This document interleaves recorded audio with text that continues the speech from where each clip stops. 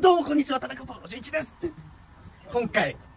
TikTok のやつで、J リーグの企画で、あんなにえげつない有名な人の中でスキル部門1位やりましたありがとうございます皆さんのおかげですもう最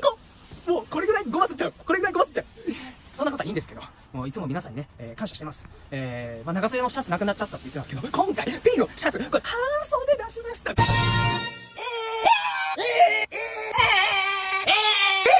このラクスピラーでね、あの、栃木市のラクスピラーで、まあ、ガンコラボして、えーシャツ出しました。えー皆さん、